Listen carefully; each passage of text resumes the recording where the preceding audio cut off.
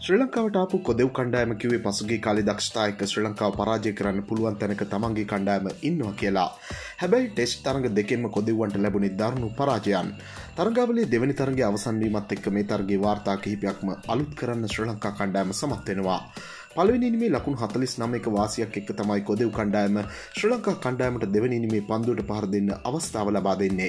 ඉතිහාසේ මේ විදිහට ලකුණු හතලිස් නමයකට වඩා වැඩි ලකුණු වාසියක් එක්ක කොදෙවන් ප්‍රතිවාදීන්ට පන්දුවට පහර දෙන්න බාර කරලා පරාද වෙලා තියෙන්නේ ටෙස්ට් තරඟ තුනක් විතරයි. ඒ එදසම්සේ අසු හයේ ලකුණු අසු නමයක ඉදිරියක් එක්ක පාකිස්ාන කණ්ඩායමට දෙවනීම බාර කරලා තරගයකුයි බංගලාදේශ හා දකුණු අප්‍රිකා කණ්ඩායම්වලට ඉරේව ලකුණු හැට නමයකුයි ලකුණු පනස් හයකුයි ඉස්සරහින් ඉදං බාර කළ තරඟ දෙකකුයි විතරයි. මේ තරගේදී වේග පන්දයවන්න බිඳදාන්න සමත්වෙන්නේ එක කඩුල්ලක් විතරයි. ඒ කඩුල දවාගන්න සමත්වෙන්නේ අවසාන දවසේ ලසිත් ඇඹුල් දෙනියගේ කඩුල්ල. ඉතිහාසේ මේ විදිහට වේග පන්දයවන්නන්ගේ දායකත්වය මීට වඩා අඩුවෙන් තිබුණු තරග තියෙන්නේ එකක් විතරයි.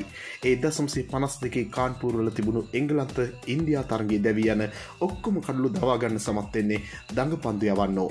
මේ තරගේදී වමත් පාදක පන්දයවන්න අතරේ කඩුළු විසි එකක් බෙදී ගිහින් තියෙනවා. තියෙනවා ටෙස්් තරගක මීට වඩා හොඳට වමත් පාදක පන්දයවන්න දක්ෂතා පෙන්ලා තියෙන්නේ අවස්ථා දෙකක විතරයි. ඒ එදදා සම්සේ අසු හතේදී ඉන්දයා පාකිස්ාන් තරගයක වමත් දඟ පන්දයවන්න කඩලු විසි හතරක් දවාගෙන තියෙනවා. දෙදස් අටේදී නවසිලන්ත බංගලාදේශ තරගයක වමත් දඟ පන්දයවන්න කඩලු විසි දෙකක් දවාගන්න සමත් වෙලා තියෙනවා. කොදව කණ්ඩෑමට එරහිව ටෙස්් තරගක පන්දයවන්නෙක් පෙන්න්නපු ඉහළම දක්ෂතාව පෙන්න්නපු ක්‍රඩකය තමයි චමින්ද වාස්. වාස් දෙදස් එක එසසි ක්‍රඩාංගනයේදී කොදවන්ට එරහිවල ලකුණු එකසිය අනු එකකට කඩලු දා හතරක් බිඳදාල් තමයි මේ දක්ෂතාවේ අංක එකට ඉන්නේ.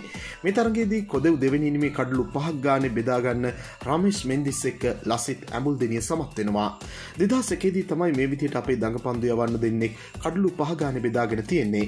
ඒ බංගලාදේශයට එරෙහිව තිබුණු තරගේක ජයසූරියත් මුරලිත් තමයි මේ හපංකම් පෙන්න්නන්නේ මේ තරගේදී කොදව කණ්ඩාමේ දැවීගේ කඩලු විස්සම් බෙදාගන්නේ ශ්‍ර ලංකා දඟ පන්දය වන්නෝ එදසම්සේ එකොල්හැ ඉඳන් තිබුණු ටෙස්ට් තරඟවල මේ විදිහි සිද්ධ වෙලා තියෙන අවස්ථා නමයක විතරයි.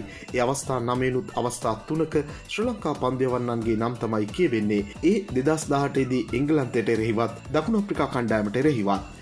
මේ තරගේදී තවත් වාර්තාවක් බිඳ වැටෙනවා ශ්‍ර ලංකා ප්‍රතිකරු දෙන්නෙක් නවවන කඩුල්ල වෙනුවෙන් පවත්වපු හොඳම ලකුණු සම්බන්ධාවේ විදිහට මෙච්චර කාලයක් තිබුණේ දෙදස් දහයේදී තිලාන් සමරවීරත් අජන්ත මෙදිසුත් පවත්වපු ලකුණු එකසිය දහ අටක සම්බන්ධතාවය මෙතරගේ ලසිත් ඇමුල් දෙනියත් දරංජය සිල්ලාත් ලකුණු එකසිය විසි හතරක සම්බන්ධාවයක් පිහිටවලා ඒ වාර්තාව තමන්ගේ නමට ලියාගන්න සමත්වෙනවා.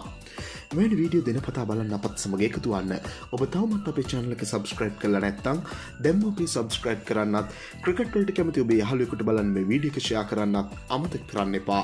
ක්‍රිකට් විඩිය නැවුම්දේ සපිරි තවත් අලුත් වීඩියෝවකින් හමුවනතෙක් ක්‍රිකට් ලංකාවෙතින් ඔබට සුබදවසක්